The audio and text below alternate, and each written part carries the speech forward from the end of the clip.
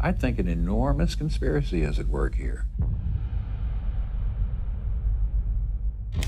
No one knows this story. This is the scandal of the art world. Barnes was way ahead of his time. He collected some of the greatest art in the history of the world. The Barnes Foundation is the single most important American cultural monument of the first half of the 20th century. They've got more Cezannes than are in the entire city of Paris. There's 181 Renoirs, 59 by Matisse, Picasso 46. It is the greatest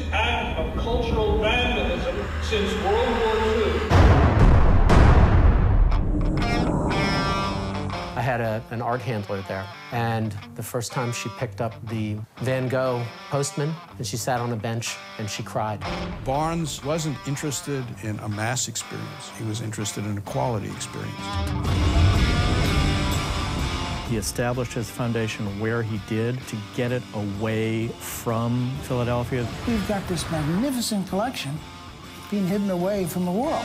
There was a vast conspiracy to move the Barnes. Down in Philadelphia, 10 times more people a day can be able to see it. Barnes turned to the best lawyers he could find to draw up his will. The collection shall never be sold, shall never be loaned. Once everybody's dead, they'll do what they want. The whole establishment wanted to capture the prize. They wanted to move the Barnes to downtown Philadelphia. Who speaks for the art when so many political forces are at work against it? These are not people who are concerned about the art. These are people who are concerned about money. Culture has become big business. Culture is an industry. It's about who controls $25 billion worth of art.